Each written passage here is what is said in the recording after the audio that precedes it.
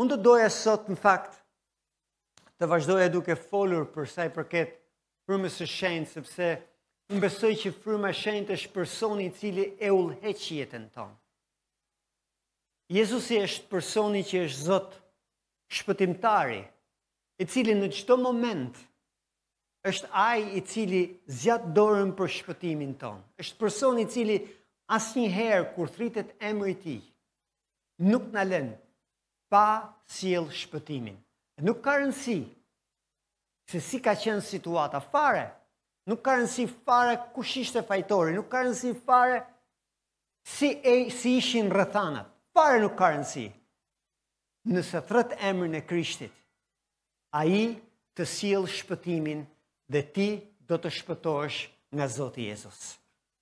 Por është ky person i cili në fakt jo vetëm që është shpëtimtar, por është një person tjetër që ka emrin frymë e shenjtë, që Perëndia thotë ai është ai që e udhëheq jetën tonë, është ai i cili në fakt na tregon shtigjet, rrugën nëpër të cilën ne duhet të ecim, është personi i cili ne na mëson, Është personi i cili ne na udhëheq për të dalë nga situata të ndryshme dhe për të parë gjëra të cilat ne nuk i kemi parë.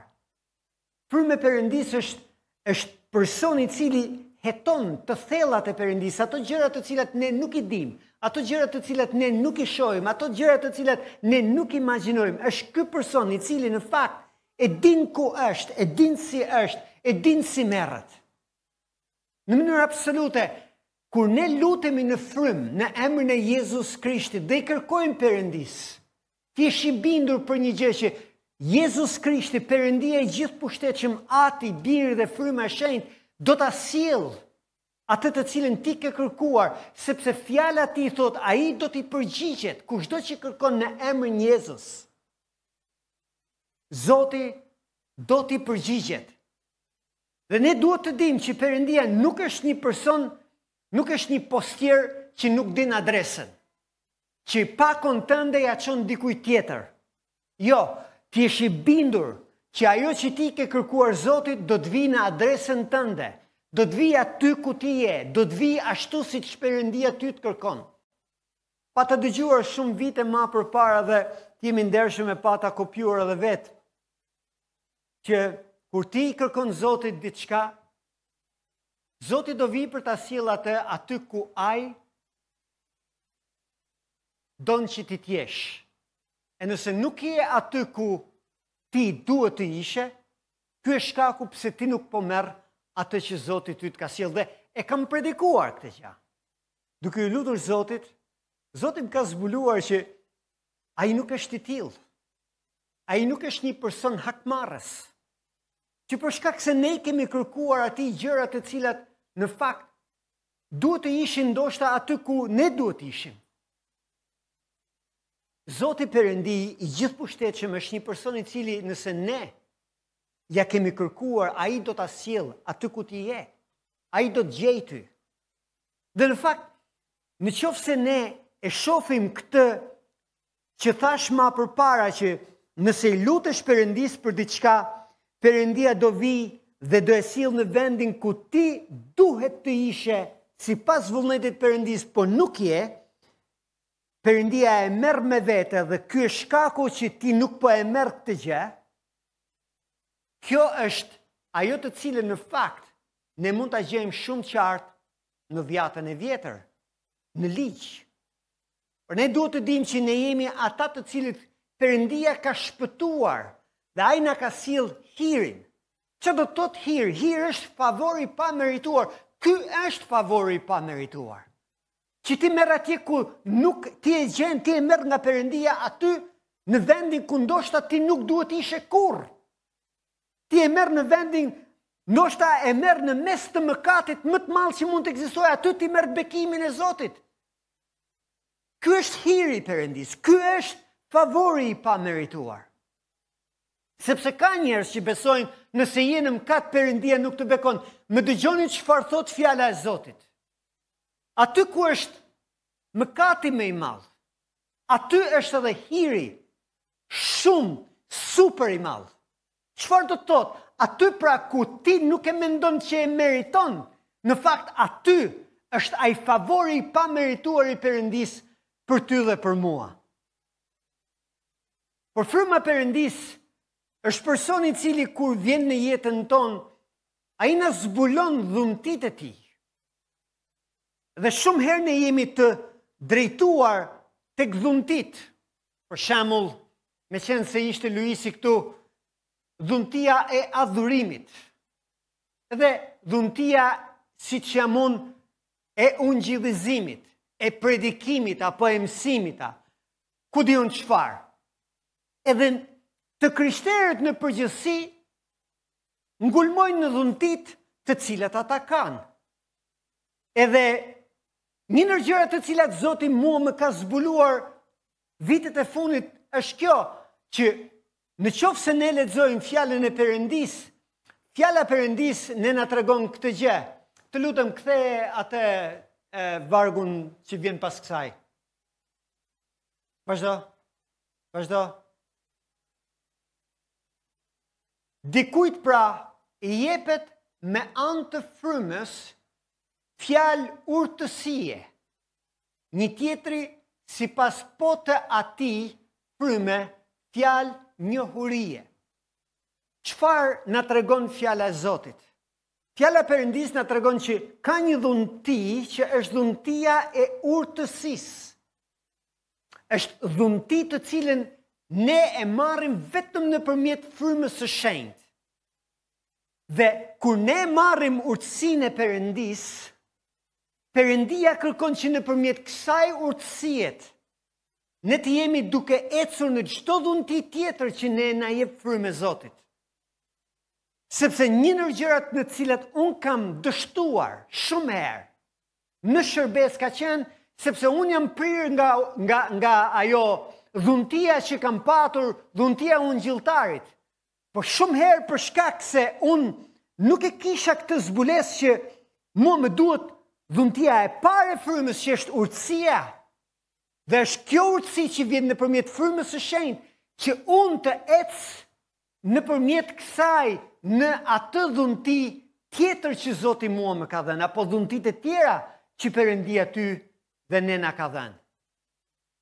Unë besoj se kjo është shumë e rëndësishme, është e rëndësishme për një arsye, sepse e kam kap veten time shumë herë në situata jo të këndshme, për shkak se nuk kam patur urtësi. kam vepruar totalisht i paurtë. Dhe kjo gjë ka bërë që në vend që unë të isha bekim për njerëzit, unë i kam lënduar ata. Kjo nuk do të thotë se unë nuk lëndoj njerëz sot. Kjo nuk do të thotë, por jam i bindur se kohët e fundit Perëndia mua më ka dhënë më shumë se i kam kërk, i kam kërkuar Zotit që ai të më japë më shumë fjalë urtësie. Jo fjala e urtësisë nuk është që ti të gjesh shtegun për t'u shmangur. Ti të gjesh shtegun për të dhënë një përgjigje jo fjala e urtësisë ka një lloj vajosjeje nga fryma e shenjtë e cila në fakt kjo fjalë urtësie sjell shërim. Ne në fakt jemi njerëzit të cilët e kërkojmë Zotin me këmbëngulje. Në qoftë se e kujtojmë momentin e Moisiut i cili ishte atje duke ruajtur delet tek uh, libri i eksodit, edhe thotë, atje thotë ishte pa një ferrishte e cila digjej po nuk po konsumohej. Dhe Moisiu thotë, Ngaqë ishte kurioz si është e mundur që po digjet një ferrishte dhe nuk konsumohet u afrua.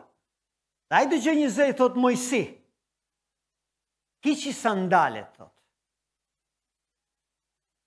Sepse vendi ku ti qëndron është një vend i shenjtë.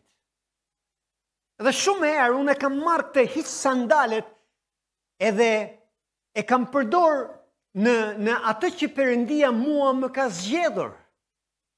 Sepse Zoti thotë, vishni thotë këpucët e ungjillit të Krishtit. Edhe unë besoj që Perëndia kërkon që ne të jemi njerëz të cilët të zhvishemi, të heqim ato këpucët, ato sandalet, të cilat kemi vrapuar nëpër botë. kemi ec në këtë botë, kemi patur pasionet e kësaj bote. Zoti don që ne të kemi ato këpucë të cilat fakt janë këpucët e ungjillit dhe këpucët të cilat janë këpucë me hir. Ungjilli i Krishtit është ungjilli i hirit. Dhe imagjinoni sa e mrekullueshme është ti ta kapësh që në këtë moment për të kuptuar që ne jemi njerëz të cilët në fakt këmbët tona janë këmbë të cilat ngado që ne vendosim dhe shkelim, ne jemi duke shkelur në hir, duke sjell hir dhe duke fol në hir. Edhe Moisiu i tha, Zot tha po, si e ke emrin? Ç'a t'ju them? Edhe i tha, unë jam ai që jam. Jam ai që isha, jam ai që jam, jam ai që do të jem. Një perëndi që nuk ndryshon. Një perëndi i cili është ndryshe nga kushdo tjetër. Zoti Mojsiu, Zoti po i shfaqte një person të cilin në fakt njerëzimi nuk e kishte parë deri në atë kohë. Një person i cili nuk ishte sipas moshës së njerëzve, po ishte një person që nuk kishte moshë. Dhe unë besoj kjo është një, një gjë e mrekullueshme që Perëndia ne na zbulon tek unë jami. Tek Perëndia unë jam. Ky person është kudo, Ai është një person që kudo që ti të jesh, ai thotë unë jam. Në fakt, është Perëndia fjala unë jam ai që jam, është kuptimi ai është i kudondodhur. Atje se njerëzit në përgjithësi nuk duan që Perëndia të jetë dikun, edhe nuk e imagjinojnë që Perëndia mund të jetë dikun. Por në fakt Perëndia është i kudondodhur. Perëndia nuk është sot i kudondodhur për të bërë spiunin për gjërat që nuk shkojnë mirë në jetën tonë. Perëndia nuk është një person i kudondodhur që ai të jetë një gjahtar mëkatit. Gjahtar mëkatarësh. Si shumë kur predikojnë dhe një nga ata kam qenë dhe vetë që thesh, thosha, Zoti të ka parë edhe nëse unë nuk të kam parë. E bëja tjetrin për të kuptuar për të thënë tmerri, pa parë, më pas ka pa Zoti që domethanë, tani unë do pres ndëshkimin. Perëndia ynë nuk është gjahtar mëkatarësh. Ai është shpëtimtar i njerëzve të cilët e thërrasin emrin e tij. Dhe kur fjala e Zotit thotë, kur ne thërrasim emrin e Zotit, kushdo që e thërret emrin e Zotit, ai do të shpëtohet, kjo fjalë ne na tregon siguri. Dhe më dëgjoni çfarë do t'ju them, një ndër gjërat të cilat i jep është Në frymën e Zotit, ti mund të marrish dhuntinë e urtësisë. Fjalë urtësiet është që ti beson se Perëndia është kudo, aty ku je ti, por nuk është për të parë mëkatin tënd, por është për të dëgjuar zërin që ti i thërret atij për të çliruar nga çdo lloj situate, nga çdo lloj mëkati, për të shëruar nga çdo lloj sëmundje, sepse ai thotë unë jam, që do të thotë aty me ty për të shpëtuar. A mund të kem një një duartrokitje? Le ta kthejmë kthejmë më përpara të lutem. Një Korintasit kapitulli Më fal, Kolosianëve kapitulli 1, vargjet 9 deri në 14 thotë kështu, prandaj edhe ne. Nga dita që dëgjuam këtë, nuk pushojmë së luturi për ju, dhe të kërkojmë që të mbusheni me, njoh, me njohjen e vullnetit të tij, me çdo urtësi dhe mençuri frymore. Shiko se çfarë thotë fjala Zotit. Fjala Zotit Pali pra, fryma e Perëndisë nëpërmjet Palit është duke na treguar që Ai është duke u lutur, duke kërkuar që të mbushemi me njohjen e vullnetit të Tij me çdo urtësi. Pastaj vjen mençuria. Kur Perëndia i tha Solomonit, i tha Solomon,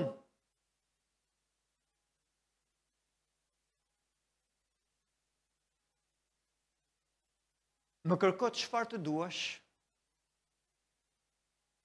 e unë do e bëj për ty.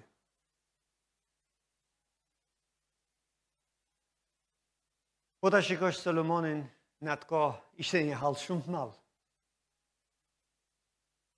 Edhe ai tha këtë gjë, Zot tha, Unë dua urtësinë tënde që të udhëheq këtë popull të çoroditur, popullin tënd. E Zoti i tha meqenëse ti kërkove urtësinë i tha, ty nuk do të mungojë asgjë më.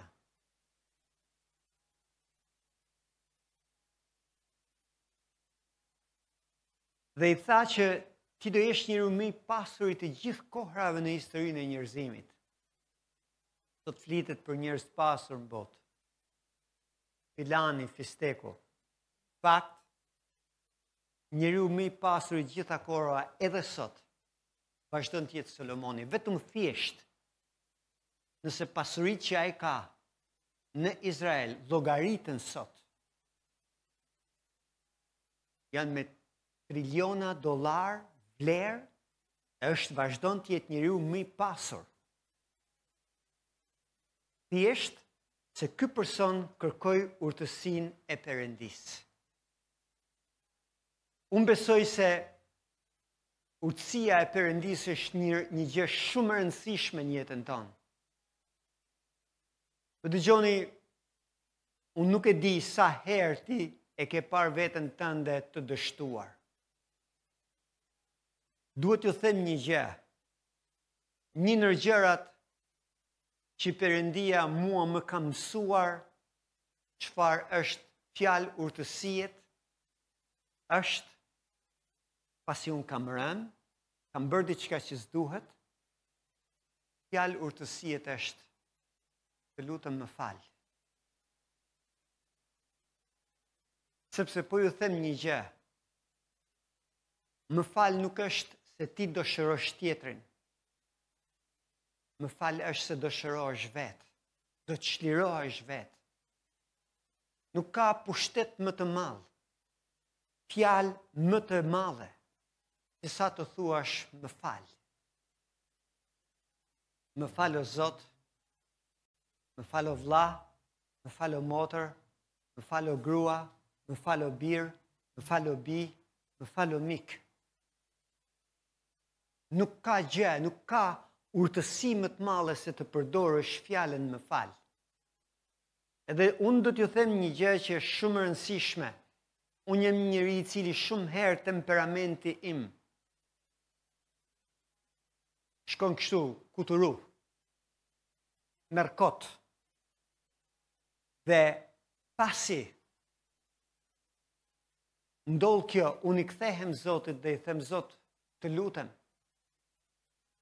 dua fjalë urtësie. Dhe dini çfarë është fjala e urtësisë? Nuk është se ne bëjmë diçka që nuk duhet.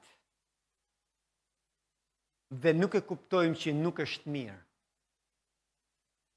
Po ne kemi një problem shumë të madh me krenarinë për ta ulur hundën. Ne të krishterët e kemi një diçka në jetën tonë, e cila besoj është një pengesë shumë e madhe në rritjen tonë shpirtërore. Nëse ne mendojmë se unë nuk do e ul hundën, Unë nuk do kërkoj falje. E në qoftë se ti e shikon që çfarë ke bërë diçka gabim, nuk bjen për të kërkuar falje, por rrin e shikon cili ishte gabimi i tjetrit, për t'i dhënë justifikim asaj hundëpërpjetës tënde, krenarisë tënde për ta ushqyer krenarinë tënde që ti je bërë e mirë, Unë po të them që kjo nuk është urtësi, sepse është kjo krenaria, kjo vetëgjyqësia, kjo vetëdrejtësia jonë, cila në fakt ne na mban peng për të parë gjëra që fshihen, që këto i fshehin, i mbajnë larg, Prandaj fjala e Zotit thotë prandaj ne nga dita që dëgjuam këtë nuk pushojmë së luturi për ju dhe kërkojmë që të mbusheni me njohjen e vullnetit të tij në çdo urtësi dhe mençuri frymore që të ecni në mënyrë të denjë për Zotin që t'i pëlqeni atij në çdo gjë duke sjellë fryt në çdo vepër të mirë dhe duke u rritur në njohjen e Perëndisë, duke sjellë fryt. Fjala e urtësisë është një fjalë e cila kur ti e thua, kur ti e shpall, ka vajin e frymës së shenjtë. Dhe kjo sjell fryt Më dëgjoni, nëse duam fryte në jetën tonë, fryte të frymës së shenjtë, ne duhet t'i lutemi Zotit që të marrim urtësinë e Tij, të jemi të urtë, të mos kërcejmë, të mos reagojmë, po edhe nëse kërcejmë apo reagojmë, t'i kërkojmë Zotit, Zot, dua urtësinë tënde, Më jep një fjalë urtësiet, jo mençuri. Urtësia nuk është mençuri. Sepse ka një pyetje që e kam pas dëgjuar disa vite ma përpara. Kush vjen ma përpara? Mençuria apo urtësia? Dhe shumë njerëz mendojnë që ti duhet të jesh njeri i mençur që të jesh i urtë. Në fakt nuk është e vërtetë. Ti duhet të jesh një person shumë i urtë që të zhvillosh mençurinë. Sepse shumë herë mençuria për shkak të natyrës njerëzore është djallëzore. Por në qoftë se ajo që Perëndia thotë në Fjalën e Tij, që ne duhet të jemi të marrim fjalë urtësie dhe me çdo mençuri pastaj. Pra ka vendosur mençurinë Zoti e ka vendosur pas urtësisë. Unë besoj që janë këto fjalë që Perëndia na i zbulon nëpërmjet frymës së shenjtë.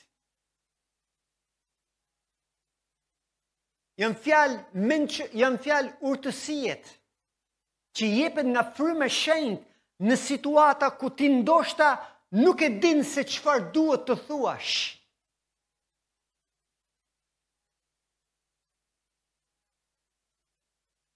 Ka njerëz të cilët mendojnë që dinë gjithçka. Dhe po t'i dëgjosh sinqerisht, të mushin mendjen që janë të mençur. Po po të rrish me ta, kupton fal janë, po janë të mençur.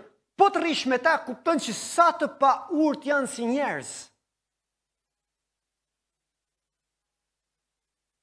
Edhe nuk e harroj kurrë një herë një debat që pata bërë me një person shumë të njohur në Shqipëri, i cili person shumë televiziv dhe ishim duke biseduar në një tavolinë dhe fjalori që ai përdori më skandalizoi sepse brenda meje ishte njeri shumë lart.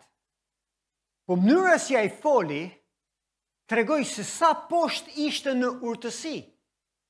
Pasi mbaroi gjithë ajo takimi që ne kishim se isha unë me te dhe disa të tjerë, në fakt unë isha i ftuar për një kafe ndodha rastësisht aty. Pas asaj Më tha, i thashë unë a mund të pimë kafe tjetër bashkë. Tha mu, po, patjetër, ulem pimë kafe dhe më tha mua. I thashë unë, më ke thënë që jam pastor yt. Po je tha, thashë a mund të jap një këshillë. Po. Unë do të kisha shumë dëshirë që t'i lutesha Zotit për ty. Oh, unë e di, tha që i lutesh Zotit për mua. Po, por dëgjo, thashë.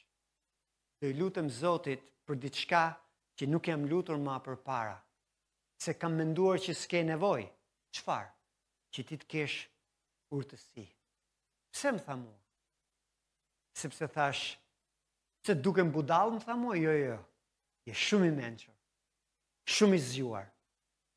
Unë besoj që kjo zgjuarsi duhet shoqëru, kjo, kjo zgjuarsi duhet shoqëruar me urtësi.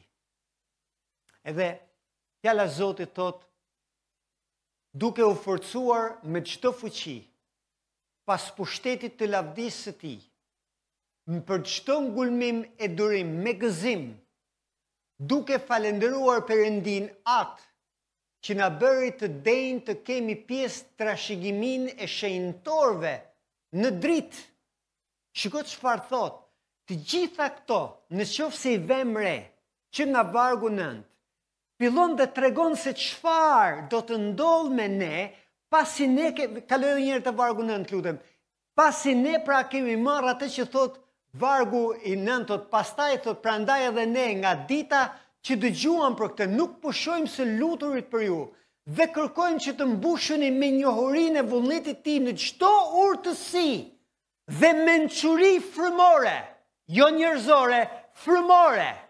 Dhe pastaj vazhdon vargu 10 që të ecni në mënyrë të denjë për Zotin që t'i pëlqeni atij në çdo gjë, duke sjellë fryte në çdo vepër të mirë.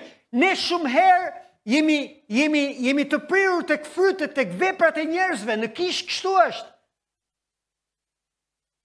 Në fryt në, në kishë është veprat. Më trego cili është besimi yt që të tregoj veprat e veprat janë ato që tregojnë besimin edhe cila është dhuntia, gjëra të tilla. Në fakt, fjala Perëndisë thotë që ne duhet të jemi të pajisur me urtësi dhe mençuri frymore. E pas kësaj, ne ecim në mënyrë të denjë.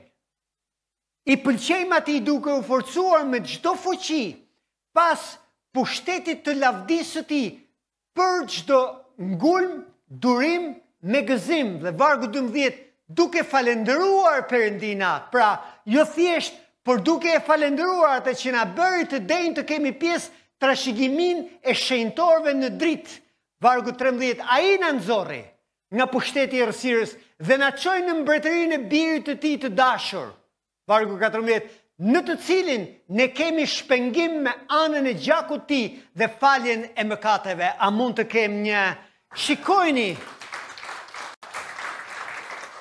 Shikojni! Sa e bukur është kjo pjesë. Në fakt, mua më pëlqen shumë kjo pjesë, sepse ai tregon faljen e mkateve në fund të vargut 14, larjen, pastrimin e mkateve, ne të krishterët më shumë duam, oh, Jezusi m'i ka pastruar mkatet, ai më ka falur mua, prit një sekond ka një gjë. Okej, ti je i falur, je i pastruar, je i çliruar. Në emrin Jezus ti je bir, se ke shpallur Krishtin Zot. Ama, Një pyetje.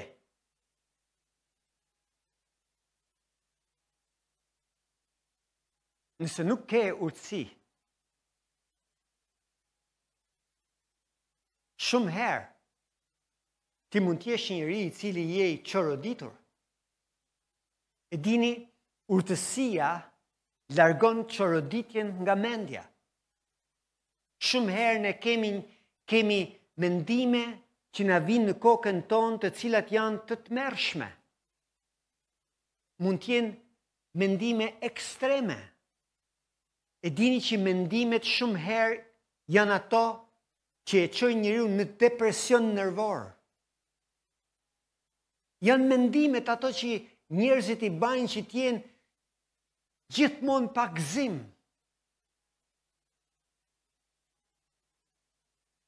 Unë do t'ju them një gjë. Mendja jonë është vendi ku faktikisht djalli e sulmon shumë. Djalli sulmon me mendime të cilat don të na tregojnë fundin tonë. Mendime të cilat na tregojnë shkatërrimin. Po Perëndia thotë ne jemi të mbushur me frymën e shenjtë dhe kur jemi të mbushur me frymën e shenjtë, Perëndia ne na jep dhuntinë e urtësisë që është me fjalë urtësie. Dhe dini sa bukur është kur ty të vjen një mendim i keq dhe gjëja që ti bën është frymë e shenjtë. Unë dua një fjalë urtësiet. që ta shpall në emrin Jezus kundër këtyre mendimeve. Dhe ju nuk e keni idenë se si Perëndia zbulohet, Krishti zbulohet, sepse Krishti është fjala.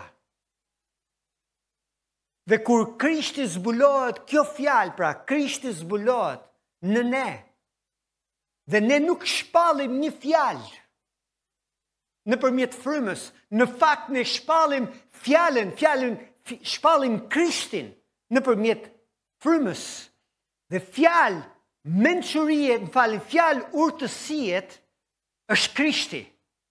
Kjo është fjalë urtësiet, të shpallim Krishtin. Nëse nga mendime të ndryshme apo situata të vështira që ti mund të kalosh, Nuk din çfarë të thuash. Unë po të premtoj sonte nëse ti thua Jezus, unë jam biri yt. Dhe besoj në shpëtimin tënd vetëm kaq. Mbaje mend se Perëndia nëpërmjet frymës së shenjtë do të zbulojë fjalë të tjera urtësie. Që do shpallësh pas këtyre, sepse Krishti është aty. Ai thotë unë jam. Ai është i kudogjendur, i kudondodhur. Ai nuk të ka lënë vetëm. Ti ndoshta mund të ndihesh që je vetëm. Ti ndoshta mund të ndihesh që je i braktisur. Ti ndoshta ndihesh se je futur në një kurth të padrejtë. Njerëzit po mundohen të të çojnë drejt shkatërrimit. Por ti nuk je vetëm. Ti ke Krishtin, Zotin tënd. Ti ke atë i cili ka premtuar që kushdo që do të thërrasë emrin tim do të shpëtohet. Ti ke këtë person dhe thua Jezus. Nuk ka fjalë më të bukur, më të urtë se të thuash Jezus, të lutem, dua shpëtimin tënd. Nuk ka fjalë më të urtë që ti mund të thuash në situata që ndoshta ti nuk din çfarë të thuash. Ndoshta ti shikon çdo gjë që është në disfavorin tënd. E gjitha kjo të ka sjell në një situatë shpirtërore që mund të jetë depresive. Një situatë shpirtërore ku ti ndihesh bosh, i dëshpëruar, i mërzitur, kur je i mërzitur, mërzit të tjerë që i ke afër. Kur je i dëshpëruar, atë do të çosh tek të tjerë dëshpërimin. Po më dëgjoni, nëse don një fjalë urtësie, Fryma e Shenjtë do të zbulojë Një sekret shumë të madh që ti mund t'i kërkosh dikujt të lutet për ty. E të jesh i bindur që njerëzit do luten. E dini kush janë të krishterët të cilët në përgjithësi kanë probleme depresive në jetën e tyre. Njerëz të mbyllur që kanë nevojë që t'i thonë dikujt për t'u lutur, apo disave për t'u lutur, por ata mendojnë po unë do t'i lutem Zotit vetë, nuk dua që të tjerë ta marrin vesht. Përse duhet marrin vesht ata hallin tim? Ndoshta ti s'ke nevojë t'i tregosh kujt hallin, Ama që ti mund të kërkosh që njerëzit të luten që Perëndia të të japë rrugën për të dalë nga halli ku ti je, mund t'ia kërkosh. Unë e kam bërë këtë gjë me grupin tim përpara dy javësh. Në takimin thashë ju lutem, unë kërkoj lutje. Lutuni për mua sepse kam shumë nevojë për lutje. Unë po ju them një gjë, kisha dy javë që nuk po e bëja. Në momentin që njerëzit e grupit tim kanë filluar të luten para Krishtit ju premtoj sonte të nesërmen unë kam patur një liri të papame. Ju nuk e dini. Disa herë ne nuk e dim fuqinë e lutjes së tjetrit për ne. Prandaj ne duhet të qëndrojmë, e dini, nëse don një fjalë urtësie, Është, lutu për mua. Është fjalë urtësiet të kërkosh lutje. Është fjalë urtësiet të thuash un kam një problem shpirtëror që nuk po di të dal. Dhe nuk ka nevojë. Sepse ndoshta njerëzit mendojnë, "Oh, pastori ja del mbanë, jo, nuk ja dal dot mbanë nëse njerëzit nuk luten për mua." Nuk ja dal dot. Dhe për shkak se e kërkoj këtë gjë, është urtësi. Është urtësi. Fjalë urtësiet është të vish në kish. Në situatën më të vështirë që ke, edhe thua unë do të shkoj sot, pavarësisht nga kjo, unë do të adhuroj Zotin. Aty fjalët e Zotit, fjalët e e e e, më fal, fjalët e, e këngëve janë fjalë të cilat disa herë unë nuk kam dëshirë se si më duken. Po kur filloj dhe i shpall, ju nuk e keni idenë se çfarë lirie marr. Adhurimi Fjalë adhurimi janë fjalë urtësie, adhurim në frymë. Ti do të jesh i lirë. Prandaj fjala e Zotit vazhdon tek veprat e apostujve. Është momenti kur kishin marrë Stefanin dhe kishin thur të gjitha akuza intriga intriga kundër tij dhe thot veprat 6:10 por thot Nuk mund t'i bënin ballë urtësisë dhe frymës me anë të së cilës ai fliste. Ishin mbledhë, ishin ngritur, po ta lexosh ishin ngritur shumë nga qytete të ndryshme. Ishin ngritur kundër tij, po të lexosh vargun nëntë i shikon atje dhe çfarë ndodh? Të gjithë ishin sul Stefanit. Dhe thot Të gjithë ishin kundër tij, por nuk i bënin dot ballë urtësisë dhe frymës. Ti mund të kesh kundra gjithë botën nëse ke urtësinë e Perëndisë. Askush nuk mund të të bëjë ballë. Askush nuk mund. Stefanin e vranë. Po kjo nuk do të thotë që ata i bënë ballë urtësisë. Ishte marrëzi e tyre Ajo që i çoi ta vrisnin Stefanin. Nuk tregonte që ishin të fuqishëm, por treguan sa të dobët ishin. Po këtu tregon sa i fort është Stefani dhe e dini çfarë? Fjala e Zotit na tregon diçka shumë të fuqishme për këtë burrë. Është dëshmori i parë pas Krishtit, Personi i parë që është vrarë pas kryqëzimit të Krishtit ishte Stefani. Fjala e Zotit na tregon që kur Krishti u ngjit u ul në të djathtën e atit. E kur Stefani po jepte shpirt drejtoi sytë drejt qiellit. Është hera e parë në Bibël që tregohet që Krishti është ngritur në këmbë. për të pritur Stefanin. Atë burrë që askush nuk i bëri ballë urtësisë që ishte në frymën e Perëndisë. Unë dua t'ju inkurajoj sonte. I urtë nuk është se ti ke hesht e ke pa jetën tane. I urtë nuk është njeri i cili rrin aty dhe flet rrallë. Edhe kjo urtësi është.